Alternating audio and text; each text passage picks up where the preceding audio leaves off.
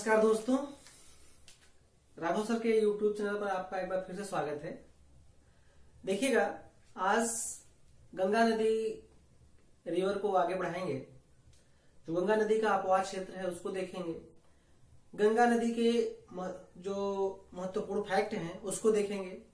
Exam के point of view से जो भी चीज़ें फैक्चुअल आपके लिए महत्वपूर्ण है, उन सारी बातों पे हम चर्चा करने देखिए, गंगा नदी के बारे में जो हम पढ़ेंगे, उसमें आप जानते हैं कि गंगा नदी भारत में एक पवित्र नदी है।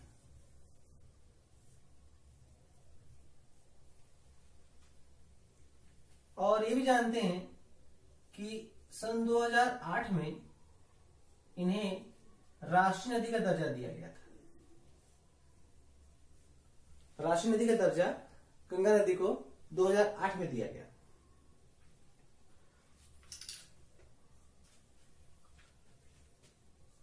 2014 की बात करें तो इनके लिए, इनके शुद्धिकरण के लिए एक प्रोग्राम चलाया गया, योजना चलाई गई, जिसे कहा गया नमामि गंगे योजना। नमामि गंगे योजना गंगा के शुद्धिकरण से संबंधित है। जो कि 2014 में चलाया गया। इसी नदी पर आप जानते हैं 1985 की अगर बात करें तो गंगा नदी के शुद्धिकरण के लिए गंगा एक्शन प्लान भी प्रारंभ किया गया। भारत की पवित्र नदी 2008 में इन्हें राष्ट्रीय नदी का दर्जा दिया गया। 2014 में नमामि गंगे योजना प्रारंभ की गई इसी नदी से। उन्नीस में गंगा एक्शन प्लान प्रारंभ किया गया इनके शुद्धिकरण के लिए। हालाँकि हम जानते हैं भारत में गंगा नदी को इंसान के रूप में दर्जा दिया गया है। गंगा नदी की बात करें तो इस नदी का जो जल होता है, इस जल में स्वतः शुद्धिकरण की क्षमता होती है।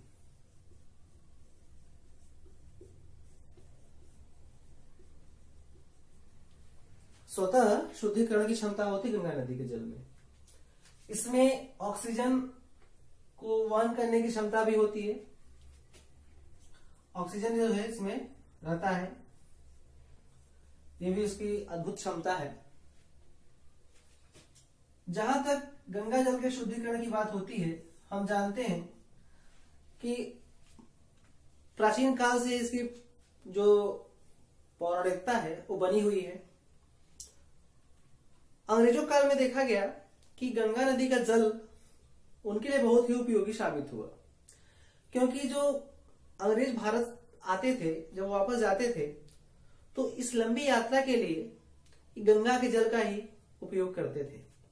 क्योंकि जो गंगा का जल होता है, इसमें एक वायरस पाया जाता है।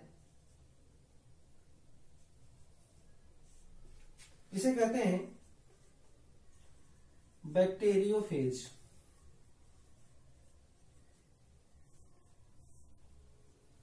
ये ऐसा वायरस है जिससे गंगा के जल में कीड़े नहीं पड़ते। हैं तो ये बैक्टीरियोफेज काफ़ी महत्वपूर्ण चीज़ है। वायरस है, जिससे गंगा का जल प्रदूषित नहीं होता है। काफ़ी गंगा नदी हमारे लिए बहुत महत्वपूर्ण है। गंगा की अगर बात करें तो गंगा नदी भारत के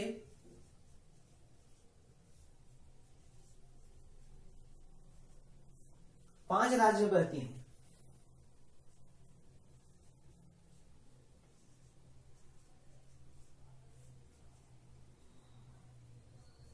हम जानते हैं। उत्तराखंड।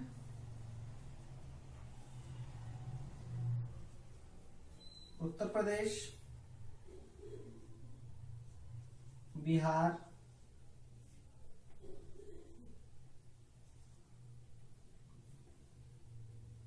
थोड़ा सा झारखंड में भी जाती है और पश्चिम बंगाल।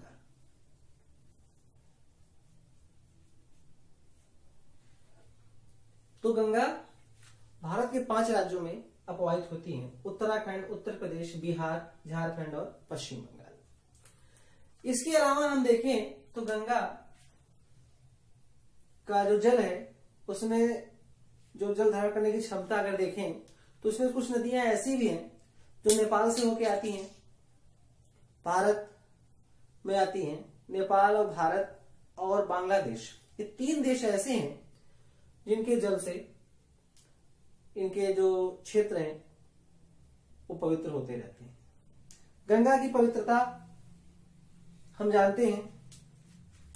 हमें भी जानते हैं कि गंगा में दो जगह ऐसे हैं, गंगा नदी पर, जिसमें एक हरिद्वार और प्रयागराज। एक उत्तराखंड में और दूसरा उत्तर प्रदेश में। ये दोनों ऐसे स्थल हैं, पवित्र स्थल, जहाँ पे कुंभ का मेला भी लगता है। हालाँकि इसी सहायक नदी जो छिपरा है, इसकी सहायक नदी यमुना यमुना सहायक नदी चंबल, और चंबल सहायक नदी है छिपरा उस पर भी एक कुंभ लगता है उज्जैन में। तो बात करते हैं गंगा नदी के उद्गम की और उसके पूरे अपवास क्षेत्र की।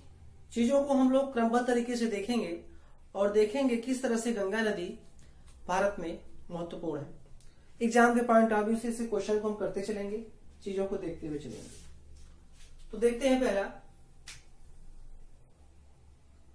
उत्तराखंड में एक जगह है, जिसे कहते हैं गंगोत्री ग्लेशियर। इसी गंगोत्री ग्लेशियर से गंगा नदी का उद्गम होता है, जहाँ पे ये भागीरथी के नाम से जानी जाती है। भागीरथी। यहाँ से उद्गम इनका होता है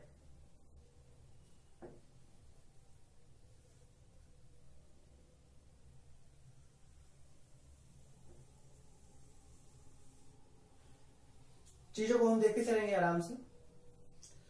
तो गंगोत्री जो ग्लेशियर है, वहाँ से भागीरथी नदी की उत्पत्ति होती है। ये नदी आगे बढ़ती है उत्तराखंड में और इसमें एक नदी आके मिलती है। जिस नदी का नाम है,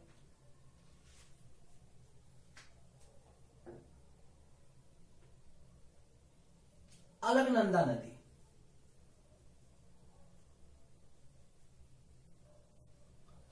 अलकनंदा नदी इस भागीरथी नदी में आके मिलती है।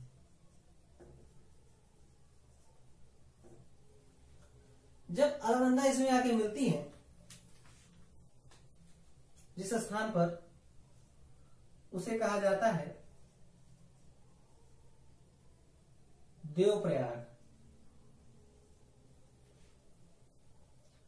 अलकनंदा नदी में एक नदी आगे इस नदी का नाम है धौली गंगा। धौली गंगा, इसमें जहाँ आके मिलती अलकनंदा में, उस नदी का, उस स्थान का नाम है विष्णु प्रयाग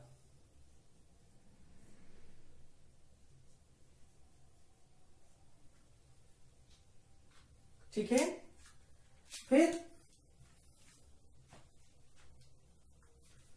अलकनंदा नदी में एक नदी और आके मिलती है। जिसका नाम है नंदकिनी नदी। ये जहाँ आके मिलती हैं, उस स्थान का नाम है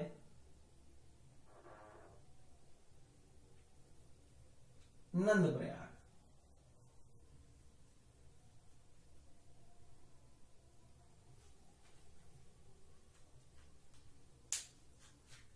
अलकनंदा नदी में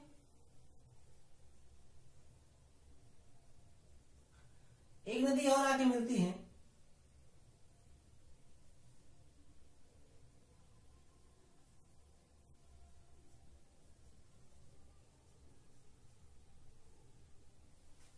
देखिएगा अलकनंदा नदी में एक नदी और आके मिलती है। इस नदी का नाम है पिंडार नदी। तो पिंडार नदी, पिंडार ग्लेशियर से निकलती हैं। और यहाँ आके मिलती हैं जिस स्थान पर, उस स्थान का नाम है कर्णप्रयाग इसे कहा जाता है कर्णप्रयाग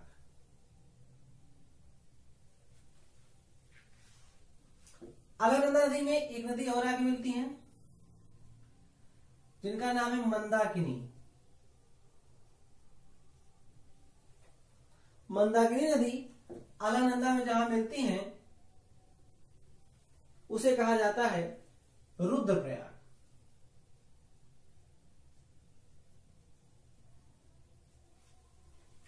तो ये जो है, यहाँ पे आपको पाँच प्रयाग दिखाई देंगे।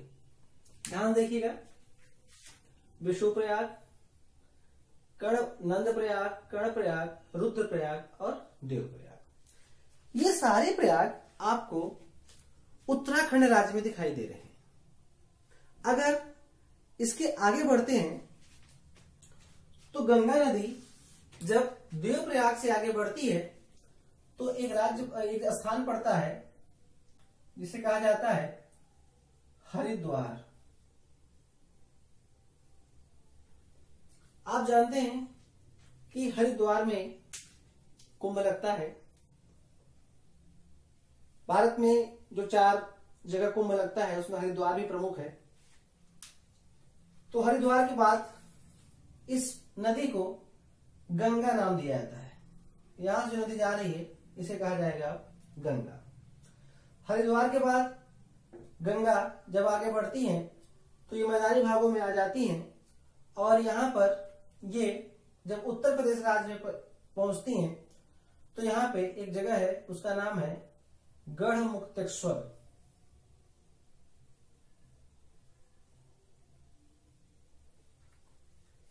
यहाँ पहुँचती है, इसके बाद ये उत्तर प्रदेश में प्रवेश कर जाती है। अगर हम बात करें आगे तो आगे इस पर एक जगह पड़ेगी जिसका नाम है कन्नौज।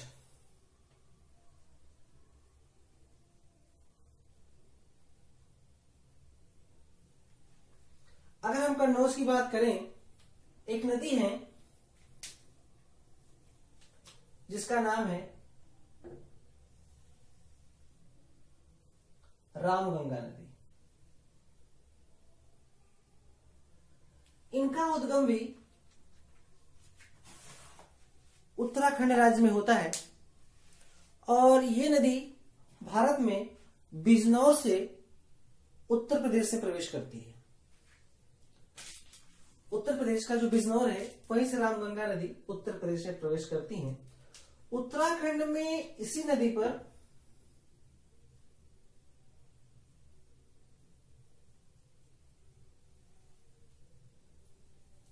जो कार्बेट पार्क है, स्थित है।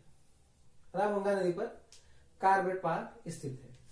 और रामगंगा नदी कार्बेट पार्क को दो भागों में बांटते हुए आगे बढ़ती। रामगंगा नदी कार्बेट पार्क को दो भागों में बांटते हुए आगे बढ़ती है। और आगे बढ़ती है तो बिजनौर, यहाँ पे पड़ेगा बिजनौर। बिजनौर के बाद ये मतलब बिजनौर में ये उत्तर प्रदेश में आ जाती है। तो उत्तर प्रदेश जो स्थान है बिजनौर, यहीं पे गंगा नदी आती है। नेक्स्ट अगर हम बात करें अब हम आगे बात करते हैं। तो देखते हैं। इसके बाद कन्नौज के बाद आगे बढ़ते हुए नदी पहुंचाती है प्रयाग। राज। प्रयागराज हम जानते हैं, सभी तीर्थों का राजा है, प्रयागों का राजा है। इस कारण से इसे प्रयागराज कहा जाता है। देखिए, जब प्रयागराज की हम बात करते हैं तो हम जानते हैं कि इसी गंगोत्री के पैरेलल एक और ग्लेशियर है, जिसका नाम है बुंदरपुच्छ या यमुनोत्री ग्लेशियर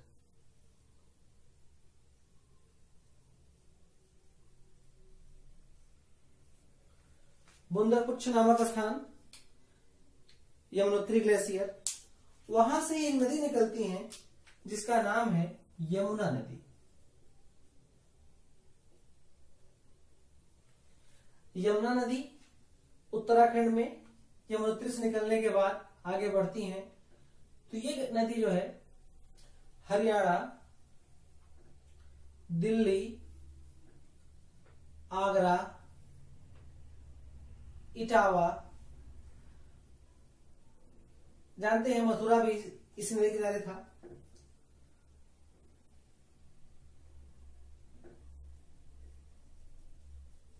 हरियाणा, दिल्ली, मथुरा, आगरा। आगे बढ़ते हुए नदी चली जाती हैं। तो हम देखते हैं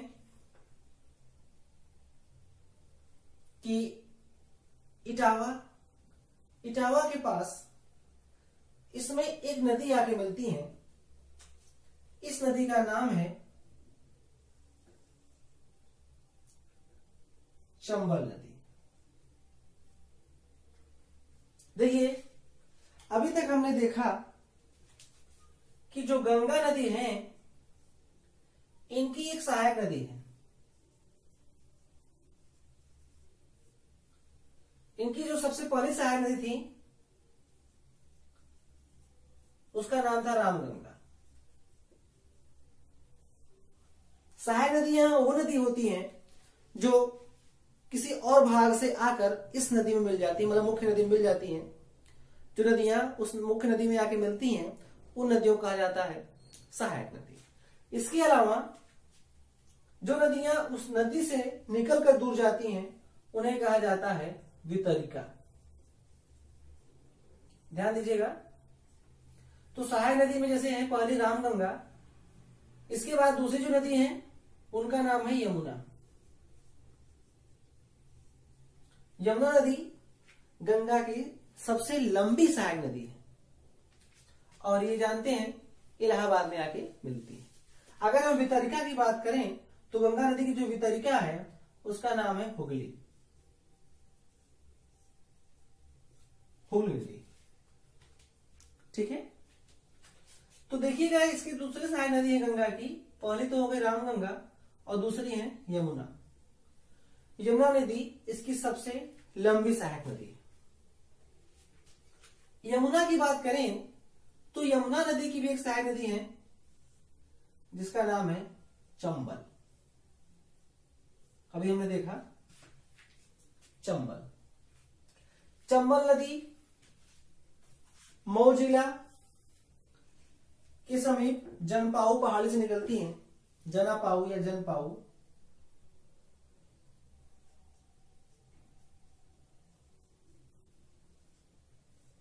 जना पाओ या पाओ जना पाओ पहाड़ी से निकलती हैं. और यहाँ से निकलती हैं आगे बढ़ते हुए ये नदी इटावा के समीप जाके यमुना मिल जाती है। चंबल नदी से संबंधित क्वेश्चन आते हैं कभी कभी कि चंबल नदी जो है, इसकी विशेषता है कि चंबल नदी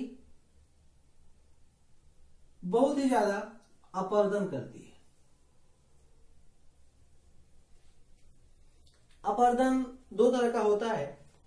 एक होता है गली अपर्दन एक होता है लेयर अपर्दन तो यमुना नदी सॉरी चंबल नदी जो अपर्दन करती है, उसे कहते हैं गुली अपर्दन समझेगा? इरोजन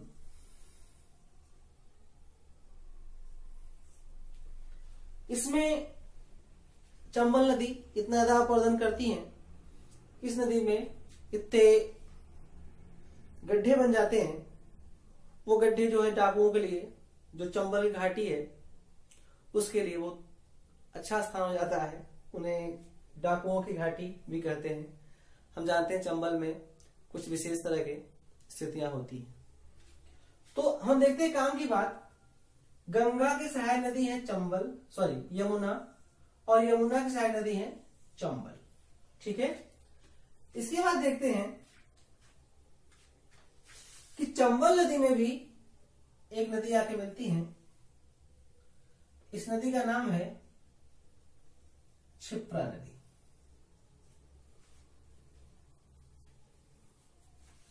क्षिप्रा नदी, हम जानते हैं उज्जैन के समीप से निकलती है, और इसी नदी पर, क्षिप्रा नदी पर, हम जानते हैं कि उज्जैन में कुंभ लगता है। इसी नदी में, उज्जैन में कुंभ लगता है। तो हम देखें, कुंभ जो है, भारत में, देखें तो गंगा नदी पर अगर देखें तो एक तो हरिद्वार, उज्जैन और एक प्रयागराज की चर्चा हम करेंगे अभी, यहाँ पे लगता है। फिर देखते हैं अगर हम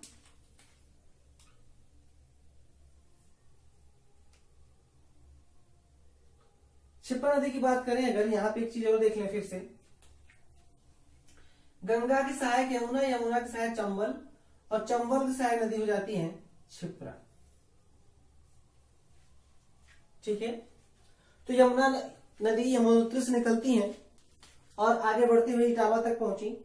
इटावा के बाद अगर हम चलें तो एक जगह पड़ता है हमीरपुर। और हमीरपुर में एक नदी आके इसमें मिलती है? जिस नदी का नाम है बेतवा नदी। बेतवा नदी हमीरपुर पर, हमीरपुर में आके, हमीरपुर।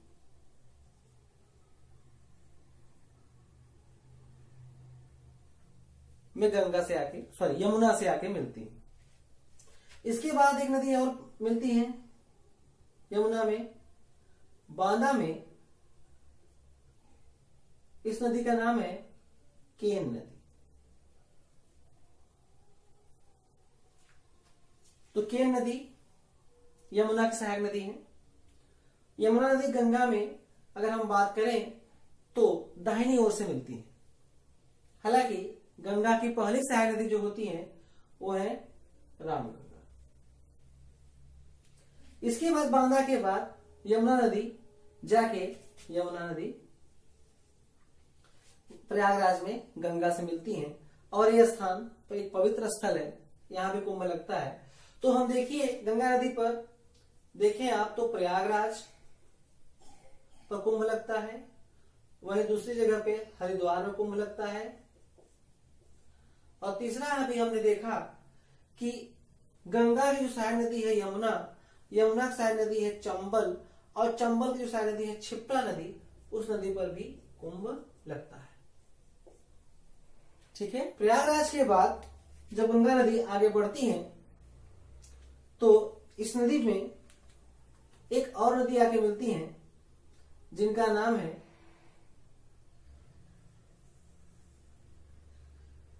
गोमती नदी।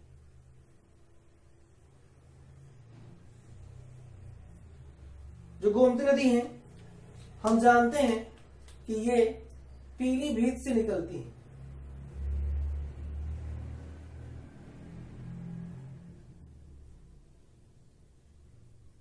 पीलीभीत से उत्तर प्रदेश में पीलीभीत से निकलती हैं और आगे आकर ये मिलती हैं गंगा नदी में। इस नदी के किनारे दो शहर स्थित हैं। इसमें से हम जानते हैं गोम, गोमती नदी किनारे एक शहर है लखनऊ। लखनऊ और दूसरा है जौनपुर।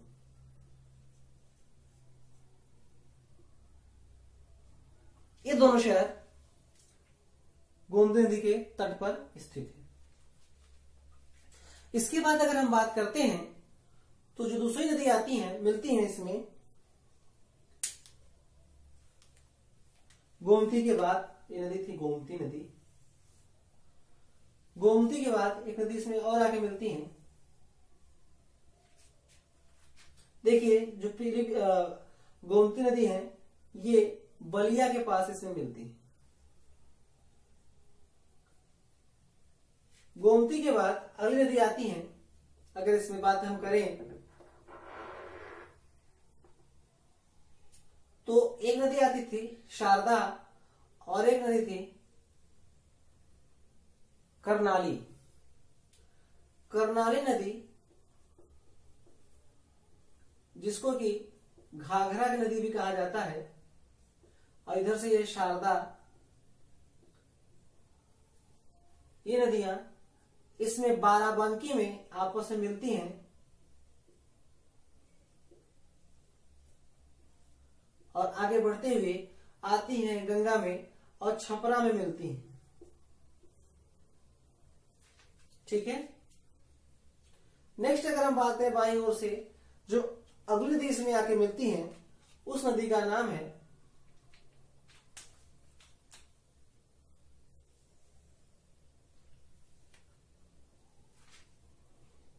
गंडक। गंडक नदी। तो गंडक नदी जो है, ये इसमें नेपाल से आती है। नेपाल में गंडक नदी को नारायणी भी कहा जाता है। तो ये नदी आके मिलती है, इसमें वो है, गंडक जहाँ मिलती है, उसे कहते हैं सोनपुर। इसके बाद अगर हम बात करते हैं नीचे से पटना के समीप ही, देखिएगा, पटना के समीप इसमें एक नदी आके मिलती है, इस नदी का नाम है सोन नदी। हम जानते हैं कि सोन नदी का जो उद्गम होता है, वो मध्य प्रदेश और जो छत्तीसगढ़ का बॉर्डर है, वहाँ पे जो अमरकंटक है, वहाँ से निकलती है। अमरकंटक। हम जानते हैं कि अमरकंटक से एक नदी और निकलती है, नर्मदा नदी जो पश्चिम की ओर जाती है। जबकि ये नदी जो है, उत्तर की ओर जा रही है। उत्तर की ओर, यानी कि गंगा नदी के दक्षिण से आ रही है और ये उत्तर की ओर जा रही है। देखिएगा। और इस नदी का नाम है सोन नदी। सोन नदी गंगा नदी में जाके मिलती है। सोन नदी की एक सहायक नदी है, जिसका नाम है रिहंद नदी। रिहंद नदी पर हम जानते हैं, एक बाँध बनाया गया है। इस बाँध का नाम है, बाँध पर एक झील है। झील का नाम है गोविंद सागर झील।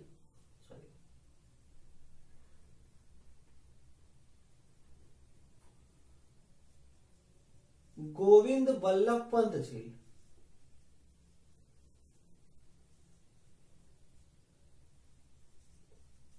और इसी झील पर एक बाँध बनाया गया है। उस बाँध का नाम है रिहंद बाँध।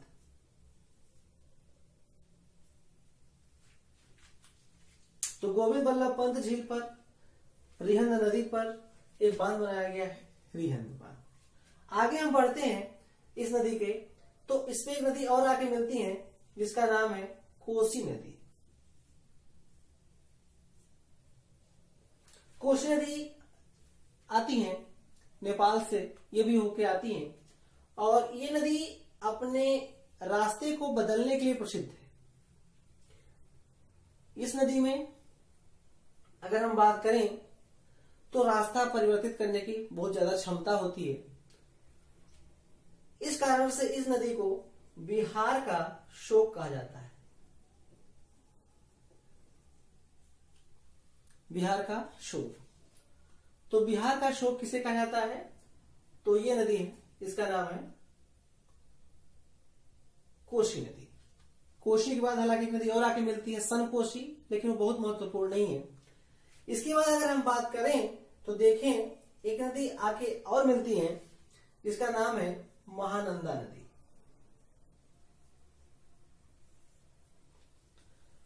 महानंदा नदी, अगर देखें तो गंगा नदी में बाएँ से आके मिल रही। इसके बाद आगे बढ़ते हैं। तो ये नदी जो है, गंगा नदी, आगे बढ़ते हुए जब ये पश्चिम बंगाल में पहुँचती हैं तो यहाँ पे इनकी दो धाराएँ हो जाती एक धारा पश्चिम बंगाल में जाती है, जबकि दूसरी धारा चली जाती है बांग्लादेश में। इधर पश्चिम बंगाल है। और पश्चिम बंगाल में इस नदी को कहा जाता है, जो जा रही धारा इनकी, उसे कहा जाता है हुगली। हुगली नदी। हुगली नदी के रूप में, और इधर जो बांग्लादेश में गंगा गई, उन्हें कहा गया बांग्लादेश में पद्मा। पद्मा नदी बांग्लादेश में गंगा को ही कहते हैं इसमें एक नदी आगे मिलती है ब्रह्मपुत्र ब्रह्मपुत्र, जिसे कि बांग्लादेश में जमुना कहा जाता है, वो नदी आके मिलती है और इसकी संयुक्त धारा जाके बंगाली खाड़ी में गिरती है और वो दोनों दोनों नदियाँ मिलकर ब्रह्मपुत्र और गंगा यानी कि पद्मा बांग्लादेश में, बंगाल खाड़ी में विश्व का सबसे बड़ा डेल्टा, सुंदरबन डेल्टा का निर्माण करते हैं, यहाँ पे। ठीक है? थोड़ा सा भी यहाँ कहानी और है, कुछ देखते हैं। गंगा नदी में एक नदी और आके मिलती है, जिन्हें अजय कहा जाता है, जबकि एक महत्वपूर्ण नदी है, जिनका नाम है दामोदर नदी। दामोदर नदी गंगा की, हुगली की एक सहायक नदी है, जो हुगली में जाके मिलती है। हुगली नदी किनारे अगर देखें तो कलकत्ता हावड़ा, जैसे शहर। इसके बाद ये नदी जाके बंगाल खाड़ी में गिरती। है देखिए, अगर हम बात करें गंगा नदी की तो गंगा नदी पर यहाँ जो प्रयागराज है, इलाहाबाद, यहाँ से लेकर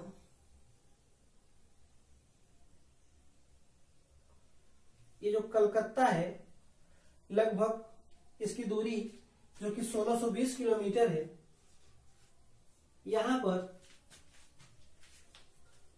एन डब्ल्यू वन अर्थात राष्ट्रीय जलमार्ग वन स्थित है। यह है इलाहाबाद से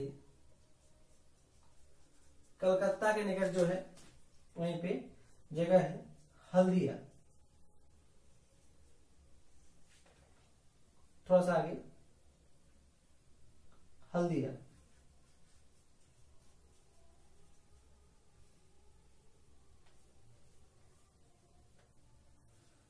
यहाँ इसको की हटाई देते हल्दिया इलाहाबाद से हल्दिया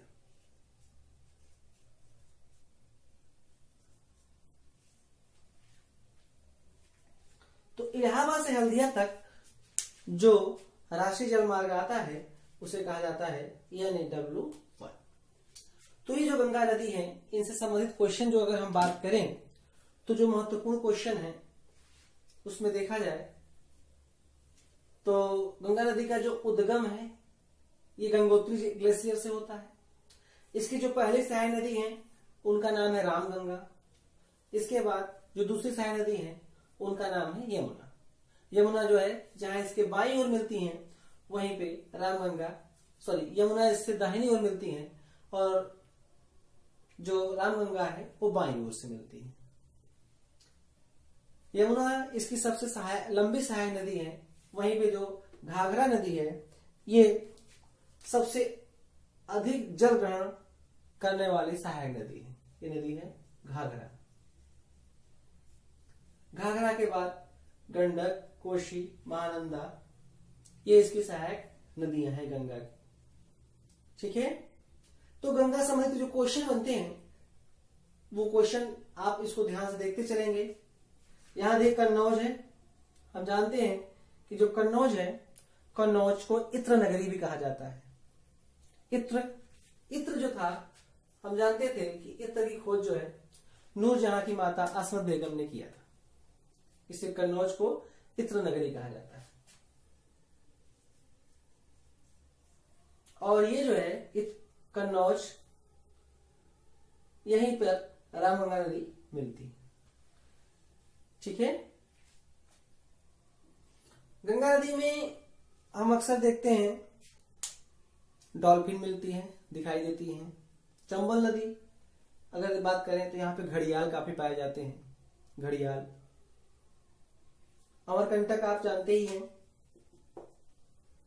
ठीक है? तो इसको गंगा नदी को आप देखें।